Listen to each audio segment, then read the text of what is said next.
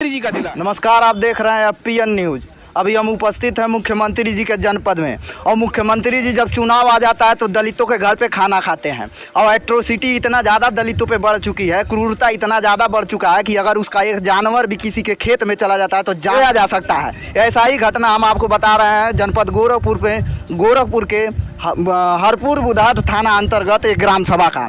और यहाँ पे जो है लगभग एक हफ़्ते होने को है, धारा 307 भी लगा आईपीसी का एक्ट 307 भी लग चुका है, लेकिन अभी तक आरोपित गिरफ़्तार नहीं हुए हैं। और इस परिवार का हौसला बढ़ाने के लिए, परिवार के साथ उनके मांग के लिए इस समय आज़ाद समाज पार्टी चंद्रशेखर आज़ादी की पार्टी के जिला अध्यक्ष और विधानसभा अध्यक्ष भीम आर्मी के लोग यहाँ पे उपस्थित है। कार्यकर्ता है। काफ़ी भीड़ थी, लगभग सौ डेढ़ लोग आए हुए थे हरपुर बुधर थाने पे बगल में थाना है, अभी हम कुछ समय लेट हो गया है आने में। तो फ़िलहाल जितने लोग हैं, इन्हीं लोगों से बातचीत होगी। भैया, क्या मामला रहा है पूरा? कैसे एक व्यक्ति व्यक्ति को जान से मारने की कोशिश किया गया? क्यों किया गया? देखिए मामला एक छोटे से बकरी के बच्चे को लेकर के है। जो दलित परिवार का एक छोटा सा बकरी का बच्चा खेत में जाने से उस परिवार को इतनी पिटाई की गई कि उसकी जान जाने की संभावना है। और इस पीड़ित परिवार को अभी तक न्याय नहीं मिला। एफ़ आई आर दर्ज हुआ है, लेकिन अभी तक इसमें नौ लोग अपराधी हैं और किसी की गिरफ्तारी नहीं हुई। तो हम और हमारे जो समर्थक हैं, हमारे जो पार्टी के समर्थक हैं, आज़ाद समाज पार्टी के समर्थक हैं, हम लोग इस न्याय को किसी भी हद तक जाना पड़ेगा तो लड़ेंगे। और सबसे सर्व की बात यह है कि यह मुख्यमंत्री जी का जिला है। अगर मुख्यमंत्री जी के ज़िले में एक दलित और एक गरीब परिवार झोपड़पट्टी में रहने वाला परिवार अगर सुरक्षित नहीं है तो ये पूरे पूरे जो है उत्तर प्रदेश को सुरक्षित कैसे रखेंगे? सबसे बड़ी बात यह है। और मंत्री जी कह रहे हैं कानून व्यवस्था सबसे दुरुस्त है। बुलडोजर हमारा एकदम गेयर में है और जहाँ पे भी अपराधी आ रहे हैं सबसे पहले चढ़ देखिए हम बताएँ।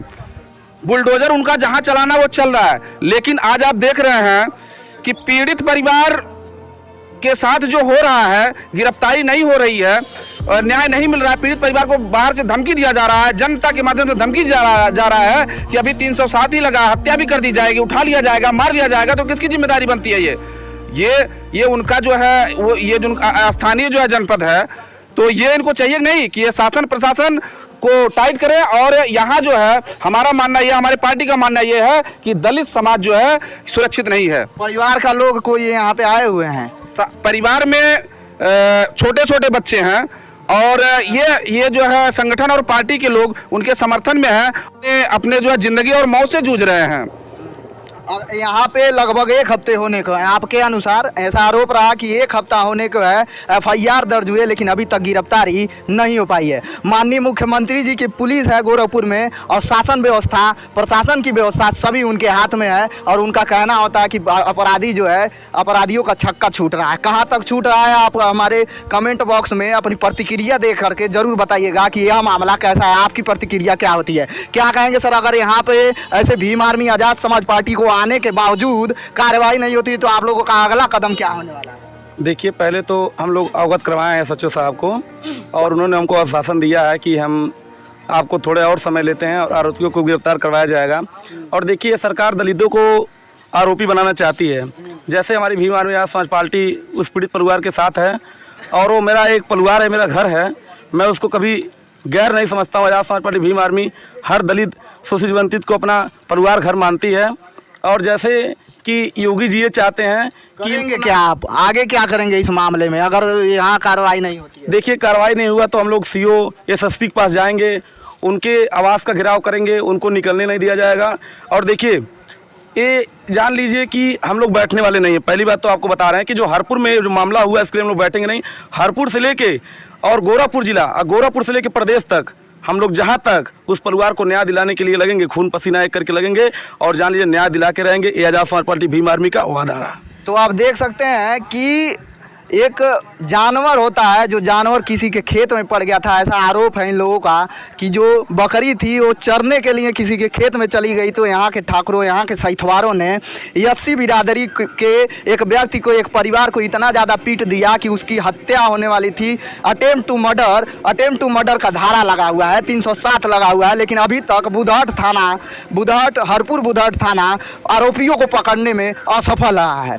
कैसी पुलिस की कार्रवाई है? मुख्यमंत्री जी का कैसा पुलिस है जो अभी तक जो आरोपित है उनको गिरफ़्तार नहीं कर पा रहे हैं। और उनका कहना है कि क्या आरोप गाँव के लोगों का कहना है कि पुलिस उनसे बार बार कह रही है कि आप लोग पता करके बताइए। जब पुलिस का काम लोग करेंगे तो पुलिस क्या करेगी? आप कमेंट बॉक्स में लिख के बताइएगा।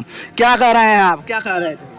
सर क्या कहना चाहेंगे? पहले मैं अपना परिचय दे दूँ। मैं राजनाथ राव विधानसभा उपाध्यक्ष आज़ाद समाज पार्टी विधानसभा शाहजनवा से। और मैं ये कह रहा हूँ कि बाकी बात हमारे सीनियर गार्जियन कह चुके हैं और हरपुर थाना के एसओ के माध्यम से हम लोगों ने अवगत कराया है। उन्होंने कहा कि 10 तारीख तक हमको समय दीजिए। दस तारीख तक का समय मांगे हैं। सब गाँव के लोग हैं और गाँव के लोग कभी इस तरह से एकजुट नहीं होते हैं। कहीं ना कहीं बहुत बड़ा अत्याचार हुआ है तब जाकर के गाँव के लोग इस तरह से रोड पे आए हैं और इस तरह से रोड दस मार्च तक ये गिरफ़्तार नहीं होते हैं। तो समझ लीजिए आज तो केवल हरपुर में इतना बड़ा जो है जनसंख्या आई थी, इसके बाद हम लोग ज़िले पर जाएँगे, प्रदेश पर जाएँगे। जब तक उस परिवार को न्याय नहीं मिल जाएगा आरोपियों की गिरफ्तारी हो नहीं जाएगी, तब तक हम लोग चैन से नहीं बैठने वाले अब देख लीजिए, एक बार घुमाना चाहेंगे कि बगल में थाना है, और बगल के थाने पे ही हम मौजूद हैं। और थाने के कार्रवाई ऐसी है कि असंतोषजनक कार्रवाई है थाने की। बुधहट थाना, हरपुर बुधहट थाने की, और यहाँ के एसएचओ साहब का कहना है कि हम अपनी कार्रवाई कर रहे हैं। पूरा फोर्स लगाए हुए हैं अलग अलग टीम बनाए हैं। प्रोसीजर होता है, उस प्रोसीजर के अनुसार करेंगे। और जबकि ऐसा माना जाता है कि भारतीय संविधान लागू है, डेमोक्रेसी है और दलितों के साथ एट्रोसिटी जिस तरह से बढ़ाई जा रही है, इस पर कार्रवाई करने की ज़रूरत है, इस पर रोकथाम करने की ज़रूरत है। और यहाँ पे पूरे गाँव के लोग एक साथ समर्थन करते हुए और उस दोषियों को सजा दिलाने के लिए एक साथ सभी लोग आए हुए हैं और निवेदन किए हैं थाने पे जाकर के कि इस पे कार्रवाई हो। आगे देखना यह है कि माननीय मुख्यमंत्री जी की पुलिस योगी आदित्यनाथ जी की पुलिस कैसी कार्रवाई करती है। गाँव के लोग हैं आप लोग गाँव के हैं? बगल वाले गाँव के हैं। कैसे पता चला है कि ऐसा बात हुआ है? हम क्या नाम है? नागेंद्र। कैसे पता चला है कि ऐसा बात हुआ है? जैसे जिस दिन मारे हैं उस दिन हम लोग घर पे ही थे तो जिस दिन हम लोग खबर मिली तो हम लोग गए हैं उनके घर देखने के लिए। तो देखे वहाँ गए तो क्या हुआ था? एकदम पूरा मरे हुए हालत में थे वो। समझ मरे लीजिए बिल्कुल मरे उनको बिल्कुल होश नहीं था। सर तीन चार जगह फट गया था हाथ भी टूट गया था। बिल्कुल मरे हुए थे। सरसों खेत में फेंक दिए थे मार के परिवार का हालत कैसा था? परिवार का हालत तो समझ लीजिए वो वो मरे हुए थे वो रो रो के एकदम हाल। एकदम रो रो का बुरा हाल था। हम खुद लाद के ले गए थे एंबुलेंस बुलाए उनको डॉक्टरी में ले गए इधर भी आए तो तुरंत पूरा एफ़ आई आर लिखवाए। और हम लोग आज आठवां दिन हो गया कोई कार्रवाई नहीं हो रहा है। हम लोग क्या कह रहे हैं चाचा? चाचा उसी गाँव के हैं?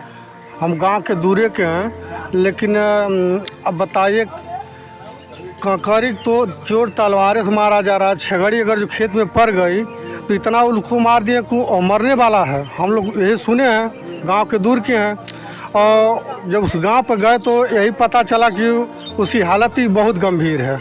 तो कहीं ना कहीं और कहा जाता है कि दलितों के सबसे ज़्यादा हितैषी माननीय योगी जी का शहर है ये योगी जी का कहना है कि स, आ, सभी को लेकर के हम लोग चलते हैं और सबका सबका साथ सबका विकास का नारा देते हैं। और सबका साथ सबका विकास कहाँ तक सही है ये आप यहाँ हरपुर बुधर थाना अंतर्गत गाँव का नाम क्या है? मदरिया, हरपुर थाना अंतर्गत, हरपुर बुधर थाना अंतर्गत ग्राम सभा मदरिया का यह मामला देख करके आप समझ पा रहे हैं कि सबका साथ, सबका विकास कहाँ तक सही है। धरती पे कितना है और आसमान पे कितना है? कमेंट करके ज़रूर बताएगा